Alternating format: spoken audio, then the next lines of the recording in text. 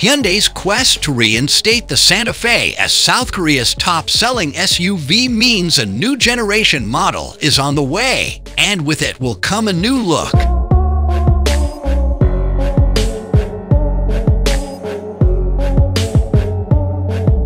2024 Hyundai Santa Fe could adopt a similar design language to the Staria People Mover and proportions reminiscent of a Land Rover Defender when the fifth-generation family SUV makes its debut next year or in 2024.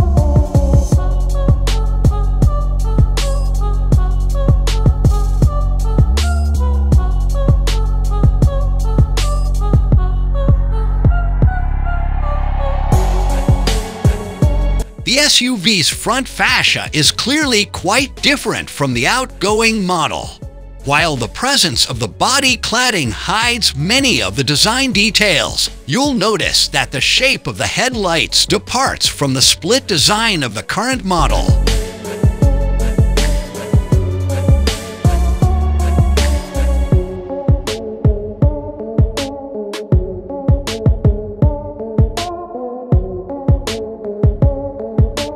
Hyundai's design changes are particularly evident when the SUV is viewed from the side.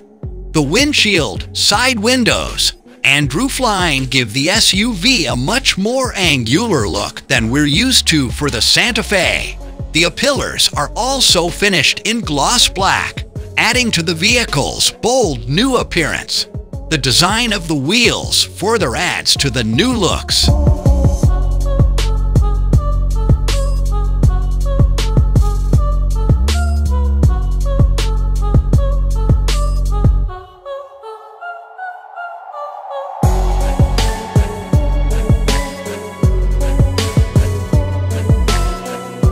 Currently, the Hyundai Santa Fe has a standard 2.5-liter four-cylinder engine with 191 horsepower and 181 pound-feet of torque.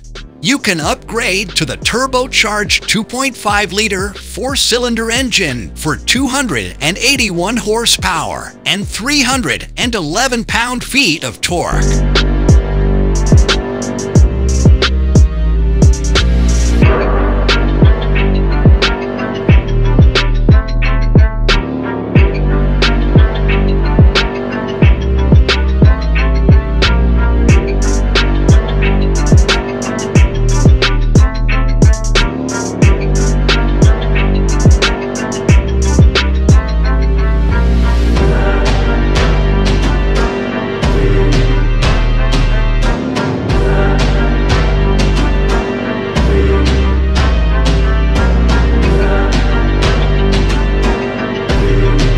The exterior, much of the cabin has been hidden from view, but the seats are finished in cream-colored leather with cloth centers.